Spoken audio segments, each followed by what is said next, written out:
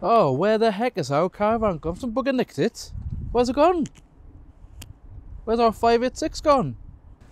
So as you can see, our Swift 586 2015 caravan has now completely gone and our pitch or area in the storage site is currently empty.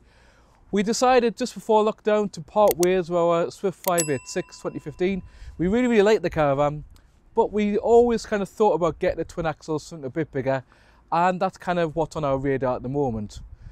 We can't quite decide, we probably are going to stick with a caravan, but don't think we're ready for a static, and I don't think a motorhome, even though they're quite nice, are within our kind of budget by quite a bit. If you have a few trains coming past, it's because we're next to the Northeast Main Line and a few seagulls you can probably hear above me. So we're just going to have a quick chat about what our options are. Well, it's kind of one of those cross things always. It's do you kind of spend more money or do you spend less money? Well, we sold our caravan, actually the profit, we sold it for nearly £2,000 more than we paid for it, which is quite good.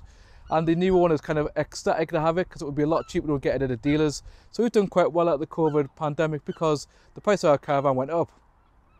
Obviously, at the same time, that also means that the price of the caravan we want to buy has gone up. So it's a bit of a funny one about deciding what to do. We nearly bought a caravan from Dice Caravans. So we might even go back to that one, which is a really, really good caravan. And really big thank you to Stuart there, who's really helped us out. We actually cancelled the order basically because we couldn't quite decide whether we'd be able to get into Scotland. As you know, maybe Scotland is currently not letting people in from England. We're also on tier three as well. And it's, well, is it fair enough on people to go up there. Now, we wouldn't actually be meeting anybody, bar obviously the dealer.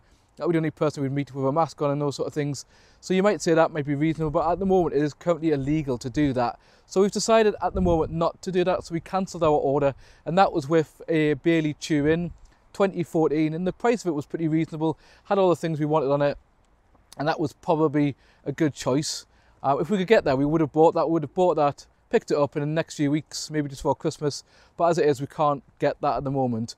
Um, now, because we did that deal, or the start of that deal, I also said to Lucy that we would go somewhere different in the summer next year. I can't say in case my children watch, and if the children are watching, I'm not going to tell you anyway. Um, so we can't quite decide what to do. We were thinking about maybe going a bit newer. The Turin was 2014.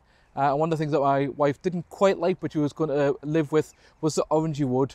We actually found another 2014 Swift FB, but that is about five hours away. And again, it's that same thing about traveling when you possibly shouldn't do.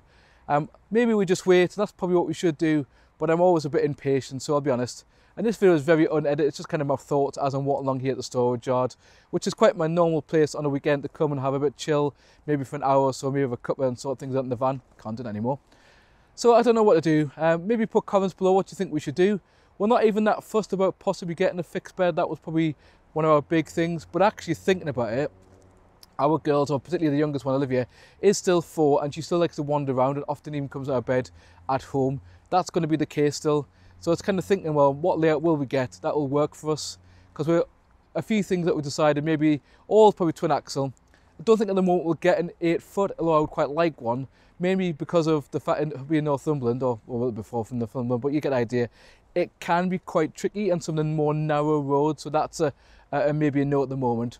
But the other kind of thing um, about the 8 foot is the price. So if I'm offering to take the girls somewhere really good next year, um, then I need to kind of keep that in mind about saving that money. I don't want to spend all my money and then kind of not be able to live up to what we said we would do.